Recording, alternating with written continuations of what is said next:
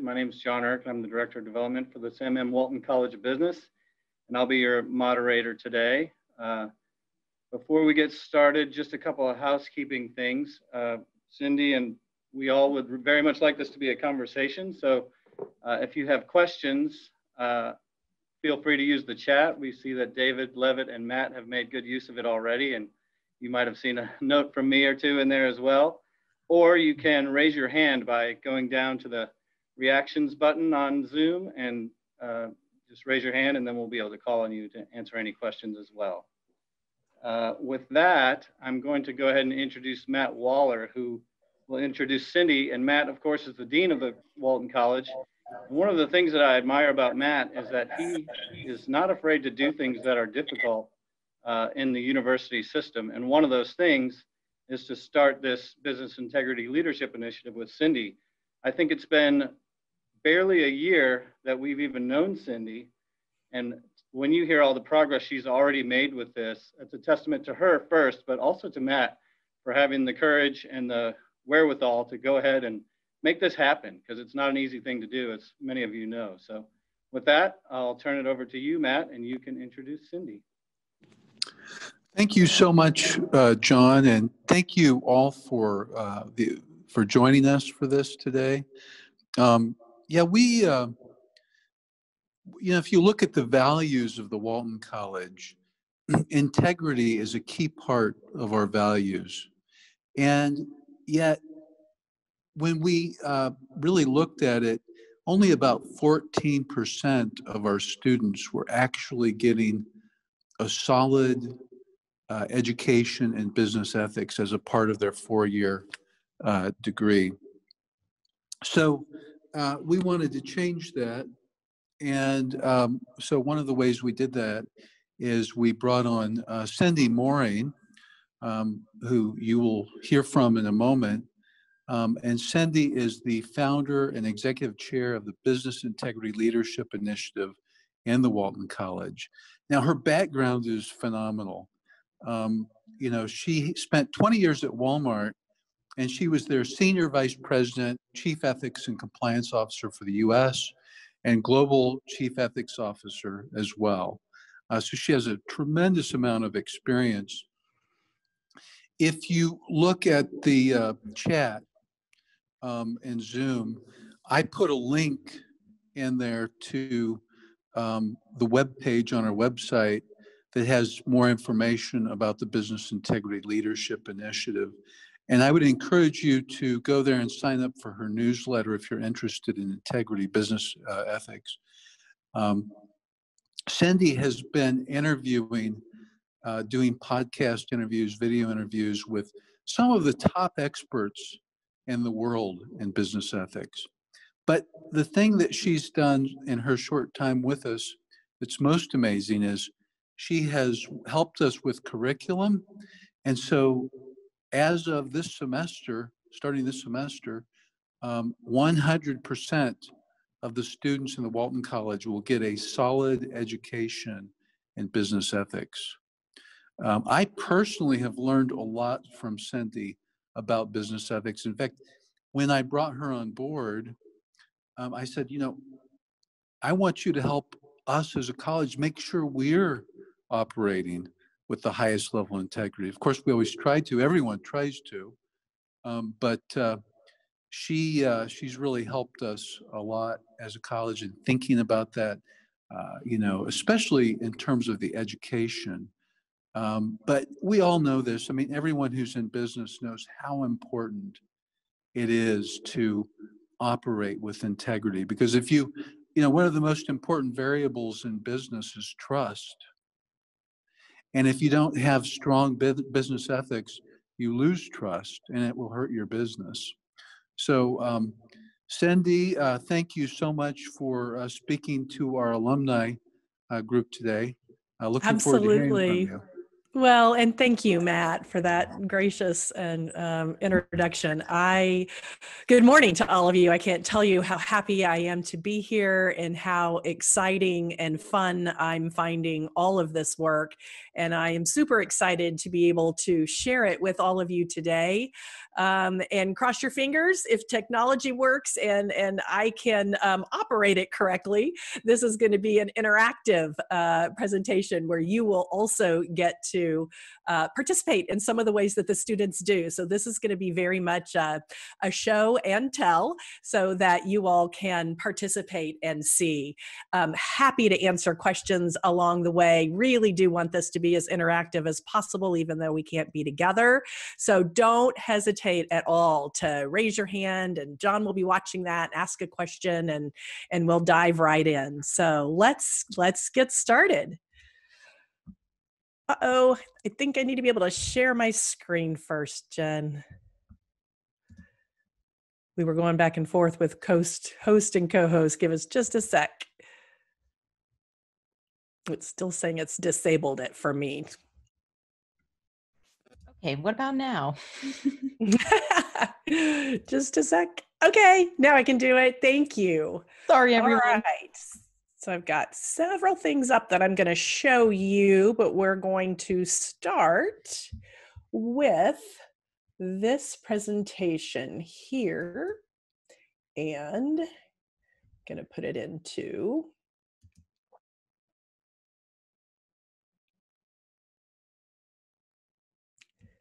slideshow mode. Okay. So we did start um, just over a year ago, I'd say. Oh, actually, no, just at a year ago, November and December last year, Matt and I really started talking about it and thinking about it. Um, we really started in earnest in January, so it's it's uh, it's right at a year of thinking and planning, and about um, ten months into actually getting started. So, first thing that um, we did was we wanted to be able to explain really why we were doing this. And so Matt was kind enough to cut a very short video here that we've shared with everyone. It was really an effort to fulfill something we need in the college. And that is business ethics needs to be a key part of what we teach and what we do, regardless of the discipline. It's not about a specific department. It's got to be cross-functional. When I first became dean five years ago, I spoke with all faculty. I spoke with companies who recruit from us. I spoke with benefactors. And one of the most mm-hmm. common requests was that we instill business integrity and business ethics in everything we do in the college. It needs to be a part of the curriculum even more. So that's why we started this initiative. What are the whoops, whoops, whoops, whoops. Hold on. So I'm not going to take you through the whole video because it uh, we'll get into it here in the rest of the presentation. But some of you may be thinking, why do we why do we need this integrity leadership initiative? Is this common? Is this something other schools have or don't have? And where do we kind of fit in? So we started with data uh, and doing some research. And uh, in fact, many other universities do have an established comprehensive ethics center. Some of them rest in the business school, but some of them are university wide. Some relevant statistics here for you just to be aware of is that we are one of the top 30 public university business schools, as I'm sure you all know, very proud fact for us. Um, and 74% of them already have um, an established comprehensive business ethics center. Uh, in addition to that, there's about 77% of what we call our aspirant universities, universities we want to be more like. There's 13 um, that we sort of compare ourselves against as, as kind of the what we're reaching for. Um, and 13 out of those 13, 10 of the 13 already have something established um, as a comprehensive business ethics center. Now, for our peer universities, only about 38% have. So what we're what we're what we're doing is really coming from in those in the in the, those first two metrics coming, I would say, from a place of um, of being a bit behind but I will tell you, with Matt's leadership and the focus on this right now, I am confident that we're going to not only catch up, we're going to leapfrog over those and actually be one of the top who are as an influential um, top 30 public university with um, uh, a comprehensive ethics center. And same for our aspirant universities. Pretty soon they're going to want to be more like we are on this particular topic. It starts with what Matt and you all already know eh, from a great um, foundation in that we already have these BEPIC values to build on uh, and integrity was already built in to the professionalism uh, value. So that was great. It was a great starting block. Um, it's already there, it's in writing, but it can't just live on a shelf, and the BEPIC values certainly don't. But the question is really how do you bring these values to life? How do you really explain to students and other stakeholders what we mean when we say integrity, and how do we live that out? So we set up the, uh, the, the goals for the Integrity Leadership Initiative, which is to establish Walton College as both a strategic and influential leader in this space. So we've got a vision statement, a mission statement that focuses a lot on, and I'm going to share with you today and have you interact with some of the thought leadership. Um, and then Matt shared with you a little bit about the education that we're doing there, um, some of the research and the outreach that we'll be doing. And I'm excited today to show you some examples from each of those categories. One of the first things we did um, with Matt's help was set up an academic advisory board that was really a- across the business school disciplines, uh, because what we see as an important factor here is that business integrity and ethics and that type of, of curriculum really be integrated into the curriculum. So we wanted it to be something that sat at the dean's level uh, and across the board for the business school, as opposed to being within one of those specifically. We also set up a great staff committee, and boy, they have really been helping me out a tremendous amount with gathering data, uh, getting our Let's Talk program that I'll explain to you a little bit more off the ground, getting feedback um, from the undergrads on an integrity credo that the MBAs had already put together. So they have been a tremendous support for me so far. All right. So Matt was telling you a little bit about education, and that's where I want to start because the reason we're all here is because of the students. So again, first thing that we did uh, when I started was gather some data on where were we and where was the University of Arkansas on business ethics, and it was about 15% of the undergrads that we were reaching prior to this fall, and it was because it was a requirement only. It was an upper level course first of all, and it was required only for management majors or management minors, and that's only about 15% percent of our undergrads. So we set about doing some really quick curricular changes. Whoops. And um, as of this fall, as Matt mentioned, we're now covering 100% of the undergrads. We moved curriculum down into some freshman courses. And then we also are extending it through into the full time MBA program um, and uh, included some curriculum there and spent two full days talking with the second year MBAs um, about integrity and also the importance of, dis- of avoiding discrimination and harassment. And we'll get a little bit more into that as well. So, but in addition to these kind of standalone, you know, direct uh, uh, parts in the curriculum where they're going to be talking about business integrity. One of the really important aspects of this is that it needs to be integrated throughout in order to be successful. And so, what do I really mean by that? Um, what I mean by that is it's going to mean a tremendous amount to students, in my opinion, and carry a lot of weight. When in their accounting class they hear their own accounting professors talking not just about the nuts and bolts of accounting, but hear them also talking about the ethical implications of a particular case if it isn't handled in the right way from an accounting perspective. Same if you're talking about marketing and you're you know you're talking about how do you create this great campaign and how do you do this wonderful wonderful marketing images and who's going to be the audience that you're headed after. And when you stop and sit back and think about examples like Juul like the e-cigarette company and how that was meant to be a smoking cessation product but actually through a lot of their marketing ended up being a product that hooked a whole younger generation um, on nicotine and cigarettes. And so having that woven into the curriculum by a student's kind of core faculty is really really meaningful because in a student's journey and in their life at that point in time those are some of the most important voices for them that they're really going to wake up and pay attention to not that the ethics courses aren't but the issue is our, our business students should not be graduating from Walton College with this idea that ethics is just this standalone course over here. It's not. It's something that actually will affect them no matter what career they choose. So integrating it through the curriculum is super, super important. So, in addition to that, we've also done a lot to start um, putting a stake in the ground and getting our name known out there externally through a through a lot of thought leadership. And um, we've done a number of things. I won't go into detail on all of these here, but one that I am going to highlight in particular as we go throughout this uh, presentation is this really important co- collaboration on the creation of digital ethical AI curriculum, artificial intelligence. Um, it's really on the cutting edge and the forefront of where this whole field of business ethics is going to go into the future. So, what we're doing is working in conjunction with um, Notre Dame um, University of Virginia, and Duquesne with the help of the Deloitte Foundation to create some digital ethical AI curriculum that essentially could be broadly dispersed to universities so that they would have a framework for using to educate their students um, and even beyond business schools. It can be, you know, sometimes information systems rests in different parts of a university and same for engineering, but it will be a curriculum that can be used, um, we hope, more broadly across, uh, across the universities. So we've also created a fair amount of thought leadership ourselves here at the university. So step one was create a presence in a number of external uh, universe, um, organizations, but then also create our own thought leadership presence.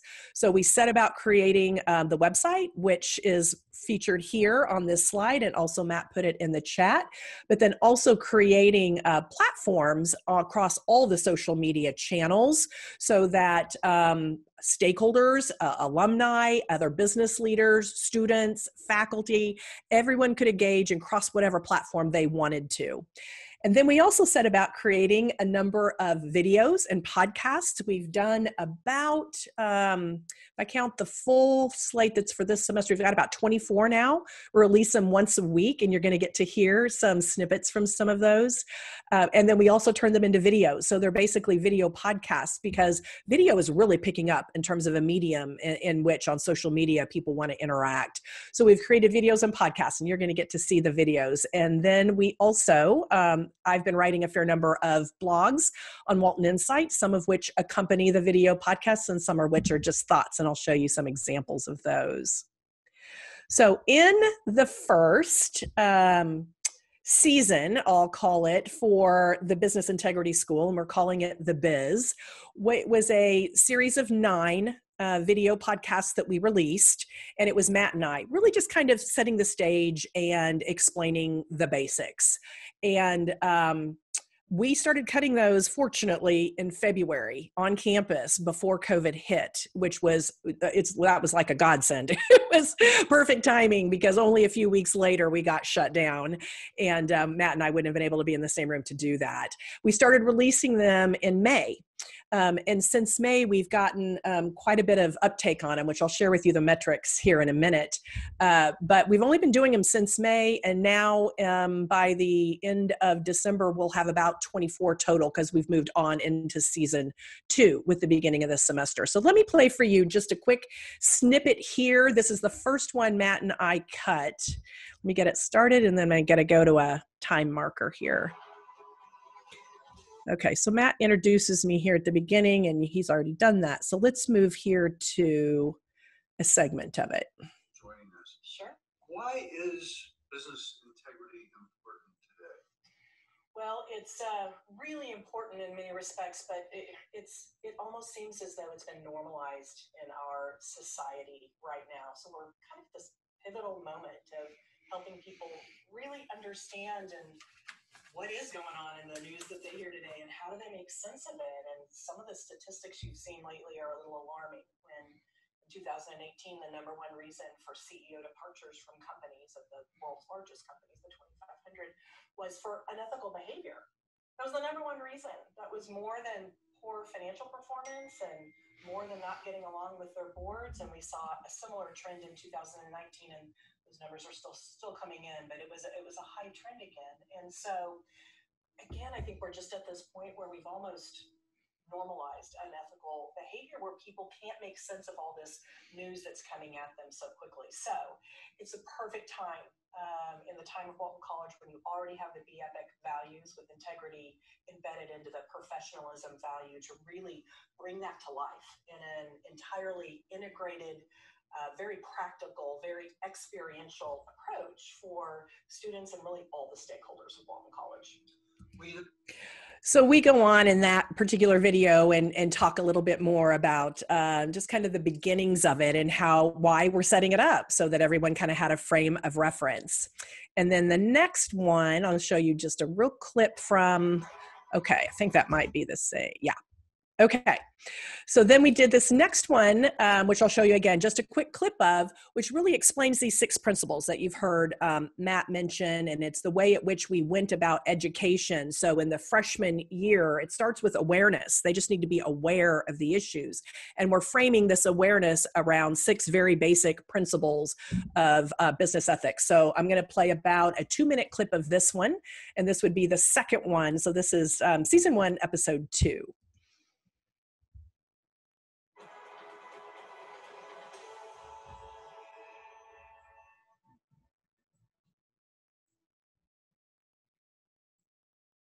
Cindy, last time we talked about why business ethics is failing in industry and why it's needed in business schools. And you mentioned these six principles, you've told me about them. Would you uh, mind, let's, let's talk about that a little bit. Sure. So, um, part of making business ethics understandable for our stakeholders is to make sure that it's very practical in how we talk about it. And part of making it practical is breaking it down into its most basic and I'd say simple forms so that people and uh, leaders and business can find their true north and organize all of this noise in a way that makes sense. And then they can deal with it right, Right. so there are these these principles that um, a professor at georgetown uh, john hasnas he teaches in the in the mcdonough school of business there also a, an attorney teaches at the law school he really picked up on that harvard business review article that we talked about last time and took a stab at um, then recognizing what he found were basically five um, business ethics principles that just exist in business today just implicitly have Right. existed. There's another one I think needs to be added, um, and he agrees these five aren't all there is, but these five are implicit. And we'll talk about a sixth one with technology today that, that Okay. needs to be added to that list. And that sixth one you came up with through dialogue with Mary Lacity. Yes, right? with Mary. Yeah, she's one of the members of the academic advisory board and um, works in the uh, the blockchain center and well-known professor in the information systems area. But with technology so pervasive in society today, we just didn't feel like it was one that that um, could avoid being recognized. Well, you know, these principles seem like a great idea because as a leader, part of the purpose of a leader is to set direction. That's right. And if you adopt these principles or some form of them, then you're setting the direction towards ethical uh, behavior in the organization. That's right. So in that video, then we actually go through, Matt and I do, each of the principles and I give a, a recent from the news example of each of them so that people can start and students can start to become more aware of, of what they are. Uh, the technology one is an important one and we're going to visit that one again here in just a minute if I can make sure that I get my slides going to the next. Okay, so I'm now going to give you just a really quick sneak peek from um, an episode for season two. So Matt and I did the nine in season one. They started being released in May, and we went through about July. Took a little break in August to get ourselves um, ready for season two, and then we started releasing um, the season two videos and uh, podcast at the beginning of September. They'll run through December. There's one a week. I've talked to 15 um, different real um, just incredible thought leaders in this space about the future of business ethics. So I've talked to professors from Harvard and from um, UVA and from Wharton, um, internationally, from INSEAD, from um, University of London, from just all over the world. And they are incredible thought leaders. And what I'm doing in each of the episodes is really talking with them about what they see as the future of business ethics. The Harvard Business Review article that's still really, really referenced in mainstream media um, is this article from 25 years ago where business ethics was being criticized as being taught in a way that was too general, too theoretical, and, and too um, impractical. And so much has been done since then that what i what i really wanted to do is spend this season this semester interviewing a number of thought leaders in business ethics to bring that article current and then talk about well what's the future? If that's what it was and we know we've made a ton of progress what's the future going to be? And an important part about the future is ethical ai this woman here is kirsten martin. She is a uh, professor now at notre dame. She's an engineer by background and ended up and she got her engineering degree from michigan ended up going on to uva to get her mba and her phd and she's now really combined those two disciplines into um, uh, being a professor in her field of research and teaching is all about ethical AI and kind of uh, the technology and the next steps in um, uh, where that's going to go into the future. So, what I'm going to do is play for you a sneak peek because her episode hasn't been released yet. But hold on, I got to get out of my full screen um, and get to here. Make this bigger.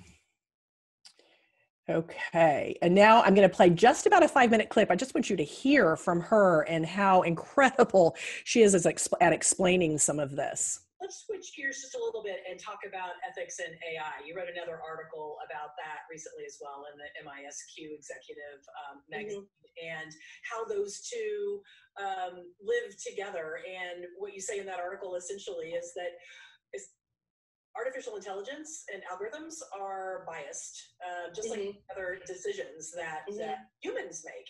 And so mm-hmm. the question is, as we rely more and more on technology and algorithms, what can we do to make it less biased? Because you know, there have been a lot of examples of things going really badly wrong with algorithms, like the Uber right. driving car that crashed, you know, didn't recognize the human form outside the crosswalk, you know, the right. black man that was charged with a crime that he didn't commit, right. multi-facial Detroit. technology. Right. You know, that Apple Pay card. I mean, who, who knows for sure whether right. or not they were making appropriate credit determinations, but there were arguments out there that they weren't, and that people right. did it with, you know, men and women who had the same backgrounds, um, but the men got more credit than the women did.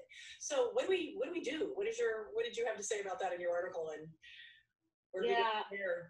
You know, I think I think some of the mistake is so well, I shouldn't use the word mistake because I use mistake, the word mistake in that article all the time. So part of the issue that we're dealing with right now is that we see these types of mistakes and um and and what we should as uh, anomalies, like almost surprised that they are occurring. And I think just like every other human decision, because it's really just an AI augmented decision, there's still humans that are working at the company. Yep. That these are going to make mistakes. The problem that we have as a business is that they're made faster and they're also made um, so the impact is larger and it's more likely they'll get caught. So right. that's part of the problem. So if you imagine, if you imagine a whole bunch of people asking for credit, um, taking the Apple case, or the easier one might be like whether or not you get insurance, just to pick on the insurance industry. If there were a whole bunch of insurance agents, all not really coordinated, barely, they have the same policy manual, but they're all spread out across the nation. If you have a few that are biased, you know, it, it's gonna um, it may be a problem, but it's it, there's also going to be some that are not that biased, and so it's going to not just exactly wash out, but it's not going to be so prevalent. Yeah. The problem that we have is what this does is it centralizes the bias and it codifies it. So now everyone's on the same page as to what the quote right answer is.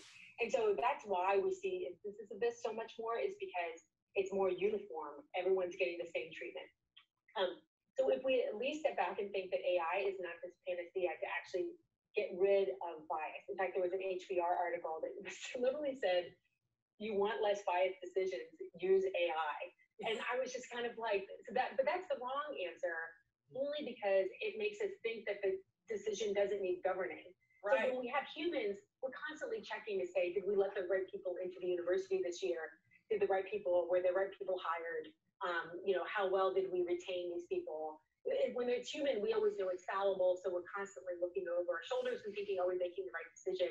How can we check to make sure that we made the right decision? Right. So, in some ways, that article was just asking the same level of governance that we do over humans. You've got to have the same level of governance over AI and be thoughtful about like the computer programming that you're putting to say, okay, mistakes are going to happen. Which mistakes do we prefer? Do we prefer a false positive? I hire someone that I shouldn't have, or do I prefer a false negative? I let someone go that I should have hired and that that that changes based on each context. Sometimes even in a hiring decision at the early stages, you want to let more people in, right, for diversity and inclusion. But at the very end, you really don't want to hire the right person. So in the end, to say you're wrong. better to like the false negative to say, look, I, I let the wrong person go, but I'm okay with that. So mm. it just is to say that there are the types of mistakes, one, mistakes are normal, and we should expect and predict mistakes and just assume they're going to happen. And the question is more, how do I identify a mistake when it occurs? Make sure that I have an apparatus to check. How do I judge to whether or not it's a good mistake or not? Do I prefer it to the alternative? And then finally, how can I correct the mistake so it doesn't kind of get in this vicious feedback loop where I'm just the mistake is being compounded over and over again. And Cathy O'Neil had a great book on this called The Weapons of Math Destruction, M-A-T-H destruction. But the main takeaway of that book was that sometimes this AI can um, what it feeds on itself with machine learning could actually create bigger problems than we had before because the biased decision is feeding back in to train the algorithm and then it kind of goes on from there the main takeaway was that uh, mistakes are normal. You know, they're expected, and an unethical decision is one where those mistakes are not governed. So we have to talk about the governance of those decisions, not whether or not it made a mistake as being wrong. Yeah. Mistakes are common and Yeah. predicted, Yeah. and so we just need to talk about the governance of it. Well, it's certainly So she, um, that was an incredible conversation. I, I hope when that one's released that you will all uh, go out and listen to that. It was about 30 minutes of just incredible um, conversation with her all about ethics and AI. It hasn't been released yet, but she is up. I think next week is when it's going to be released. And so if you uh, have go follow the link on my website, you'll be sure to to be able to get access to that. And so, just so in addition to the, the thought leadership on the videos and the podcast, we've also written a number of blogs. Um, these are just three examples of some of the writing that I've done that you'll be able to find out there on uh, Walton Insights. You'll see right here.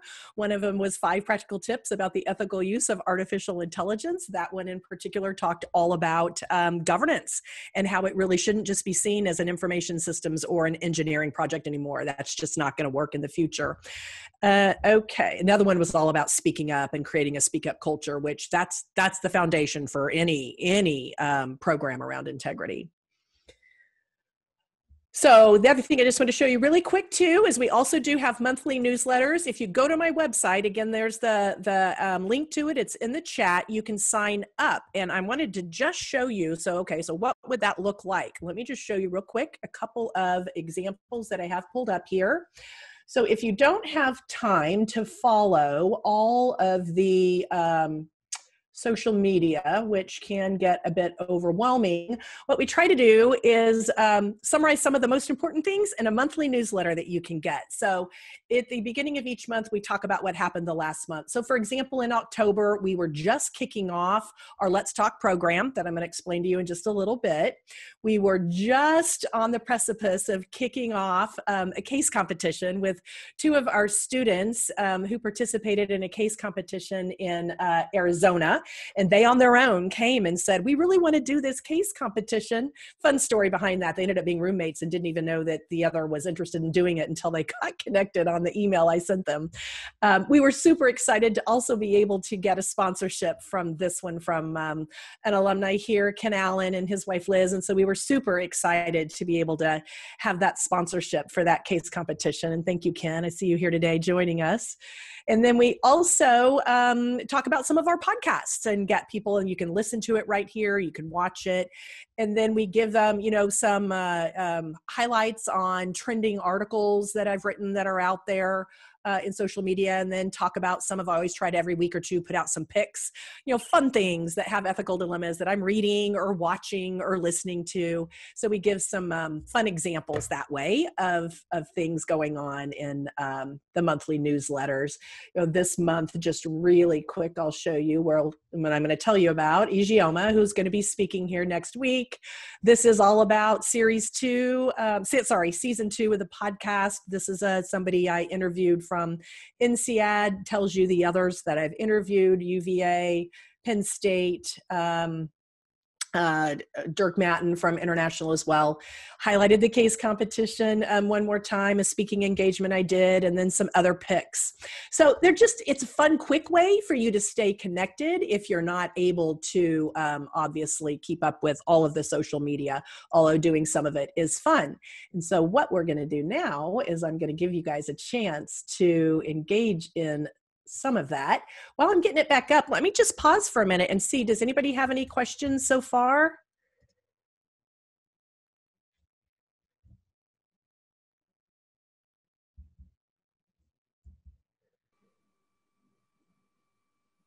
If uh, I was John? just say, feel free to raise your hand or just you can unmute yourself and ask a question or type it in the chat. Uh, And I'll, while you're thinking of your questions, I'll just ask Cindy, how many people are already signed up for that newsletter? You have a pretty good following already? We do. We have over 400 that have signed up for um, the newsletter already, and it um, I think it was only our fifth newsletter this month that we put out. So yeah, we have Great. a lot. And I'm interested in your your podcast series. Who else is on the schedule that you've interviewed? So um, for series two, we spoke with um, Mary Gentile from the University of Arizona. We talked to, talked to Ed Freeman um, from uh, University of Virginia. Uh, he's really kind of considered the one of the the godfathers of the whole um, ethics field. Really big on the stakeholder uh, theory, which he kind of uh, came up with, if you will, in the 80s, and it just didn't pick up any steam until the Business Roundtable recently changed their statement on the purpose of a corporation. Um, Tom Tom Donaldson from um, Penn, um, Linda Trevino again from Penn State. Um, Laura Spence and Dirk Matten, they wrote um, for Europe the most widely publicized and used um, business ethics book over there. So, a real wide range. Eugene Soltes from Harvard, who's written an interesting book called Why They Do It, all about um, senior executives, 50 of them, and why they um, kind of committed their crimes that they did next season we're going to complete the circle and we are going to have interviews with um, not academics but folks in the business field about what they see as the future of business ethics and what universities need to be doing to prepare students better for um, their life once they get out. So it'll kind of create that feedback loop. I'm getting views from academics now about what they see as the future of business ethics and then next semester we'll get it from um, business practitioners about what they think they, they need to see in their students and that'll create a feedback loop for um, the faculty It's a great lineup. Uh, we do have a couple questions in the chat now from Sarah. In the future, do you anticipate rolling out this program to other colleges on campus? It's, it's a Walton program now. Will it grow to be a university program? Yes, I believe that it will. And in fact, we're, we're um, starting small with that this semester because there's going to be a, a, case competition that Lockheed Martin is sponsoring. This is their fourth year to sponsor it. And we are partnering with the School of Engineering to put a, a team together. The IS department and the Department of Engineering is going to put a team together to go compete in that. And so, yeah, I do believe that it will. The program like Let's Talk that we're talking about this fall, which is about racism and discrimination and harassment and how to use your voice, that applies to the university at large. And so we've invited everybody from the campus and actually from the whole U of A system to participate in pieces of that because the topic is broad. It doesn't apply just to business. Many of it apply, much of it applies much more broadly than that. Great. Uh, one more question. This this question might be worthy of an entire uh, coffee talk itself, but how has uh, COVID impacted business ethics and integrity? Oh, wow. Yeah, yes. Um, that could take up many hours of a podcast itself. Um, so many ethics issues have come out of it. And in fact, that is where, if you can hold on for just a minute, I'll, and I'm going to let you all engage with that. So you can, you can, um, through us some polls and see what I'm doing on social media, look at how I've integrated some of those ethical issues about COVID into the program for the stakeholders to be able to um, engage with me and others and talk about how it has affected uh, ethics. Okay, so we I'm super excited about this next thing. What you're going to see is how we have tied together all of this thought leadership that we're putting out there in a way that it can benefit the students directly and in a very practical way and in a way that will make a difference when they're out looking for an internship or for a job. And we've done all that through this suitable app, which is a career readiness app. And um, what it does is it lets the students actually get verifiable linked, uh, they call it a LinkedIn certificate because that's the way it shows up on LinkedIn. We call it badges internally. Achieving milestone badges. And they do certain things, certain activities, which I'm going to show you here in a minute um, so that they can complete the activities and get these badges. And once they do, they will then have that as a verifiable LinkedIn um, certificate, or they could show it on their resumes. And what a great way for them to be able to show future employees, employers, that they get it, they understand business integrity, and actually have put effort toward it. It's a really hard thing to interview for. Those of you who've interviewed know that very well.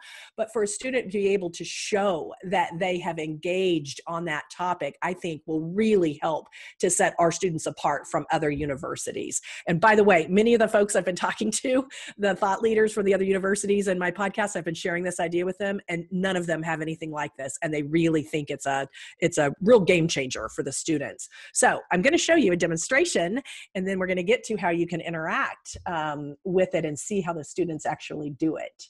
So there is this app here uh, we've just rolled this out actually last year, and this year is the second year of it. There aren't a lot of badges. The two, the one that I've created is one of the first, but this is an app. So I'm showing you the desktop version, but it's available for students on their phones, which is where they use it primarily. And so what happens is they get into this suitable app and we call it again sam students achieving milestones. And then you can see what um, you know what badges they could go get. Here's the business integrity badge. And so if a student wanted to get it they would click on it. They would then go into the badge itself and I have designed it so that there are a certain number of required activities and then some optional activities. I'm going to click into some of these here, but what you're going to see is I've made the required activities um, engagement with me on the different social media platforms and then they have to leave some thoughts and reactions about it and upload it into this suitable app um, which keeps track of it. And so um, part of it is engaging with those those videos that I just showed you, or listening to a podcast, and then they have to leave their reaction. That's an activity. Um, they've got to go read a blog or two. Uh, I showed you some examples of that. Then they've got to upload um, what their thoughts are on it, and they have to complete a certain number of those. And then, if they like an activity, they can do more optional things. So let me just show you some of it. So they would click on it. Okay, so let me show you first of all the what this is here, these are the competencies that each activity would build. These came from the great work that Karen Boston and Anna Larry Kelly did. They went out and talked to a number of our employers and said, what are the competencies that some of our, the young uh, folks that you're hiring from our college are missing? What do they need to be better at?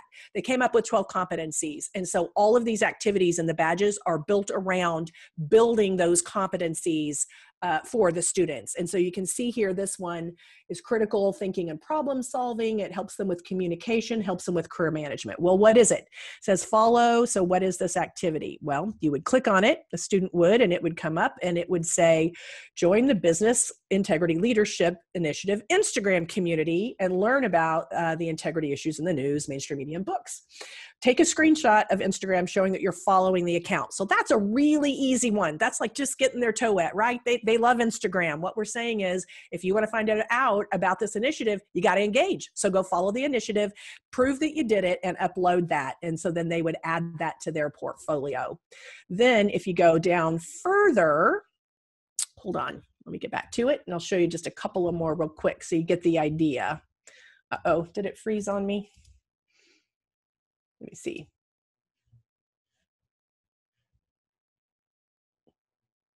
Let's get this party started. They get very competitive. I'll tell you, I've had over 1,100 students already um, start on their badge, And about about a month ago, there were um, let me see, we had about 28 students that were already 25% done. So one of them is go go to the website, sign up for the newsletter. Then they have to engage. Follow me on LinkedIn. We'll talk about the Let's Talk program in a minute. Um, here's a really cool one. They have to go try out your own knowledge. So they have to find a business ethics issue in the current event ideas, because I post them on Instagram. I'll show you here in a minute, or find their own and then write uh, a description on how they would resolve it and why and then they would get to be considered for a guest post on the initiative's instagram page and they'd get to be featured on that. And so they would this is where they write their reflection and then they upload it and then it is it is captured for them um, in their uh, in their portfolio. So here's one read a linkedin article on my linkedin page um, read a Walton Insights blog, watch a video. So I try to get them to engage across a number of the platforms. Um, and what I'm going to do now is show you how they actually do that on Instagram. But before I do it, I want you to uh, answer a polls, some of the poll questions, because it won't. I want you to do it yourself, and then you'll see how the students do it, and um, you'll see how they engage. So, Jenna, can you put up the poll that we had? Okay. So actually take pull it down for just a second. Let me just show one more thing. Can you do that? Or does that does that kill it? Don't pull it down yet. So you'll see here my Instagram page, and here are some little buttons for highlights, right? And so the students love this. They get to click on like stories that only last for like 24 hours. And so I will put those up and ask questions of the students that they have to answer. And then I can show them what the results were and explain, make them aware of the business ethics principle. And then we capture the highlights so they live for longer than 24 hours down here. So I'm going to show you, but have you do the poll first, what some of the COVID questions are that I ask them um, and some of the stuff that's in the news. So take a few minutes and go to these questions and read them and just pick what you think the right answer is. And then I'll show you how we do that interactively with the students. So there's some series of questions here on COVID, and then there's a few questions on current events in the news.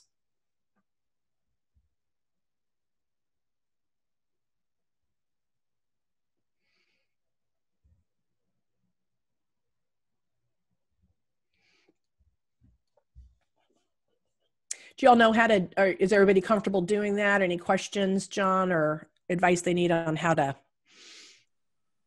use the do the poll?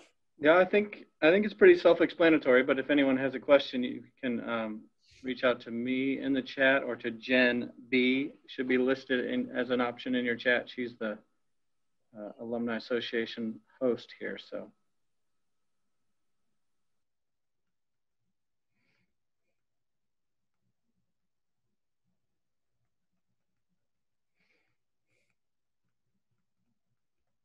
So there's some questions on COVID. And then there are going to be some questions on um, in the news. So we're going to go ahead and do both of them now, but I'm going to capture these uh, answers and we'll show you. I can see the results. Can you all see the results on your screens too? Is it coming up or not yet?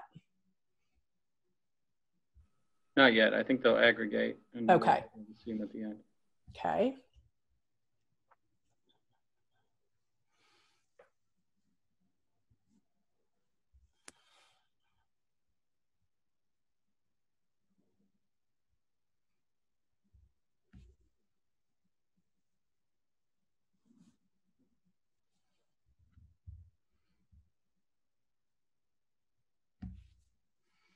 Oh, this is fun to see the results coming in. Jen, do we have answers from everybody on it? You think most everybody? We've got 78%. Um, do Okay. we want to give just a couple more seconds? Yeah, just a few, because then we have a few more questions to ask too. Okie dokie. And then I'll be able to post uh, the answers when everybody gets their stuff in. Okay.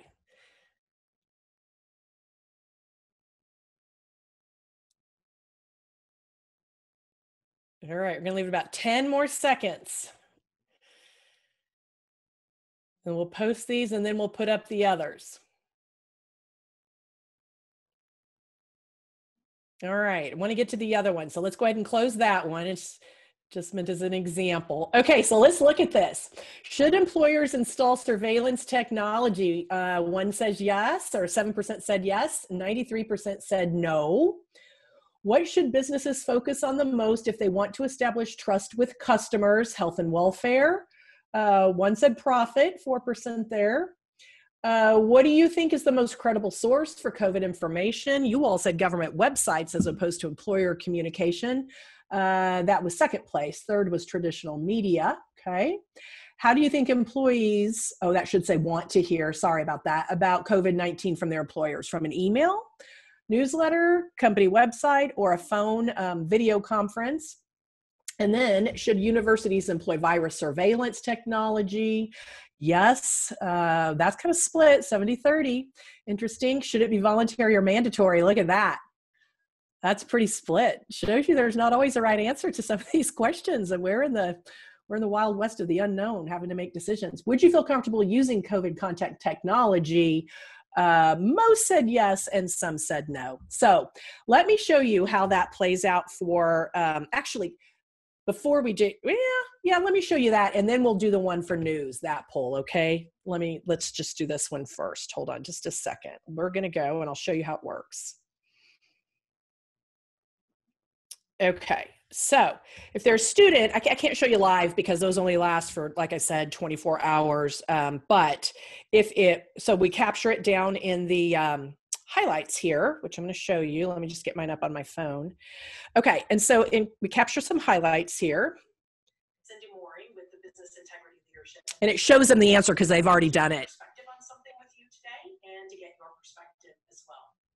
So, like many of you, I am working at home in the middle of this pandemic, and many employers want to know whether or not their employees are being productive during this time. And so some companies are installing surveillance technology so that they can track their employees' productivity. So I explain it and I go through a little, a little more video for them there. Here was the other one. Cindy Moehring here with the Business Integrity Leadership Initiative. And I want to know what you think businesses should be focusing on most right now they want to establish trust with their customers. Now, for some reason, that one doesn't show up, but if you can see my phone, you can see that it shows them the answer. See? Is it businesses, employers? Is it government websites? Or is it the traditional media? Take the quiz, let me know. The answer on that one was employer communication, by the way. How do you think employees want to hear from employers right now about COVID 19? Take the quiz, let me know, and tomorrow I'm going to share with you the answers to all of these questions. That was email newsletter. As universities prepare to go back to school this fall, I have a question for you about whether or not you think they should employ virus surveillance technology. Things like thermal scanners for, body temperatures. So you can see on that poll, 100% said yes. And the second question I have for you as universities prepare to go back to school this fall is whether or not you think either virus testing or voluntary or mandatory. Let me know what you think, and then we'll explore the answers tomorrow. So I do that, and then I, um, like I said, show them the examples tomorrow, uh, the next day. So that's how we do that. COVID-19 oh. has caused online credit technology to work. You'd have to enter that. Okay. So let me just stop that for a second, and um, let's see. Can you let's do the poll for um, uh, for news real quick if we've got that one. It would just be able to do one or two of those. Do we have that one? Okay, news. Let's do this one. We're only going to give you about a minute because we're going to run out of time uh, here in a second, and I want to be able to show you how we how we also cover some of the other issues. Uh-oh, that one doesn't work and because you don't understand. Oh, this was the question, the what was in the video is um, KPMG uh, the SEC was investigating KPMG because they had a number of employees who cheated on a learning um, uh, exam that they had to do. And so the question I had for the students and others was what level did they think the KPMG um, employees were who cheated? So that's the question. And how long do you think the employees then from KPMG they got suspended? The question was how long did they think? and then varsity blues and both of the above. Okay so that's good. So you see how that works. And um, then what i did you're right you guys got those right it was partners. Um, and they did get suspended for three years because one of the partners actually tried to cover it up. I talked to him about varsity blues um, and it was the college admissions scandal uh, and then that actually was both of the above. So that that's how that works there. And we do that engage with them through um, instagram and they just absolutely love it. They think that's a ton of fun. So I'm going to end here in just a second. I talked about the, the case competitions. There are three that we're working on right now. Lockheed Martin is the partnership with engineering. The Let's Talk program, um, we've had incredible success with this this fall. And what it is, is it's a book series, a workshop series, and then we bring some speakers in. The students are able to get their um, career readiness badges by attending the sessions. And the sessions we made available not only for the students and the faculty, but also through a partnership with Northwest Arkansas Council. We ended up having this great conversation with over a hundred um, community leaders. We were hoping to get a hundred, and we ended up with 120. We had weekly workshops where we go through the different chapters in the book here of so you want to talk about race and um, applied it through a lens of how do you get the courage to actually speak up on difficult topics. And then we had both of these women come speak. Mary Gentile Ijeoma is coming next Tuesday. If you haven't signed up to hear her, we have over a thousand people who have signed up, primarily from the Northwest Arkansas area. Um, registration for the public is closed. If there's anybody on this call who would still like to attend, please put that in the chat and we need your email address. And I think I can probably still get you in. Um, you're not going to want to miss it. She's a New York Times bestseller uh, author, and it is an incredible book uh, it has really opened up um, conversations here in Northwest Arkansas, really across the racial lines. It's been fantastic. And we are going to keep doing these Let's Fall programs. Sorry, one quick second. We're going to keep doing the Let's Talk programs. They're going to be on different um, topics each semester. So next semester, it's going to be Let's Talk About Fraud. I already have the book picked out from the Harvard professor. Um, we have four different speakers, and we're going to do a workshop. The semester after that, we're going to be talking about ethics and AI, and I've got the book picked out for that. And you've seen a snapshot of one of the speakers who we're going to have come, um, Kirsten Martin, and we'll have some others. So every semester, it will be a different topic about Let's Talk, and that Let's Talk component which is a semester badge they can get will become is part of getting their overall badge. So a student has to participate in a semester's worth of a let's talk program to get their overall badge. All right that was a lot. Um, and I'm super excited to have been able to share all of that with you. And I'm happy to stay around and answer a few more questions. But how you can help is connect with me and with the initiative. Tell your friends and tell other alumni about it. Connect me with others in your network. And we are um, starting a fundraising campaign and building our external advisory board.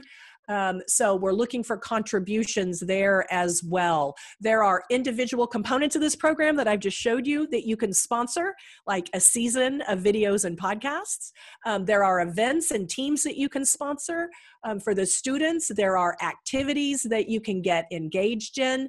Um, but I will tell you that the best way to see this continue is to get to a point where we can set it up as an endowed um, initiative and center. The one from the uh, University of um, uh, Notre Dame that I showed you where Kirsten's at, they just got a $20 million commitment from a big company for that center. Um, out at BYU, um, uh, the Sorensen family just contributed $40 million to that university's ethics center. I'm going um, a bit uh, uh, less audacious than that and looking to, to actually build. Um, uh, and get enough an endowment for about have it be about a total of 10 million. I know it will take a while to get there but that's what we're committed to aiming toward with a combination of different sources and how to get there starting small with getting folks to just volunteer to contribute a little bit of money or sponsor an event or be on the advisory board and then building from there to the larger um, go get but that's about what it takes with um, being able to to survive off like 4% of the endowment to be able to make it something that um, is is is permanent and doesn't have to be sort of hand to mouth in terms of finding funds to be able to continue to operate. And then the initiative can focus its full time on doing this great programming that I've just shared with you. So I hope that was uh, informative and interesting and fun and engaging, and I'm happy to stick around and answer any questions. Thank you, Cindy. We did have one question. Uh, well, is there a plan for professional certification or executive education as there in this program? Yes, there is. And we are building that out as well. And in fact, the Let's Talk program that I just shared with you, the community component of that, they are going to get a LinkedIn certification themselves for having participated in that workshop. If they participated in, you know, 90% of, um, of it, then they're going to get that. And then we're working with Brent and Blythe and others in Exec Ed to take what we've built this fall and what we're going to be building in the future um, semesters and turn it into something that can be more more uh, of an exec ed certificate. Great. Well, thank you. Uh, we're over time. Cindy said she'll stick around in a minute, but I just want to say thanks to the Alumni Association. Thanks to all of you for joining, and thanks, of course, to Cindy. I think you can see the passion she has for this and the, the depth that we've already created in such a short time for the college and our students. Uh, yeah. Excited about all this. And reach out to me via email directly if you want to continue the conversation. If you've got to run, I get it. But I am more than happy, as John said, to talk with anybody about it. I'm very passionate about it. Thanks, everybody.